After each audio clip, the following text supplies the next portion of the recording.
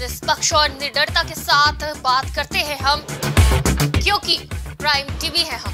कुंवरपाल खड़क, बंशी, भावी प्रत्याशी, भाजपा विधानसभा बयालीस, हसनपुर, जनपद अमरोहा की ओर से समस्त प्रदेश व देशवासियों को नव वर्ष की हार्दिक शुभकामनाएँ।